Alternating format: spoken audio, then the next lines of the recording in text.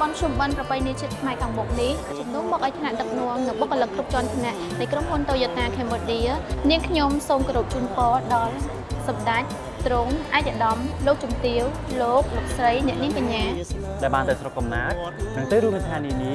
សូមឲ្យរកការសម្ដែងលោកអ្នកប្រកបដោយសុវត្ថិភាពទាំងទៅទាំងមកទាំងអស់គ្នា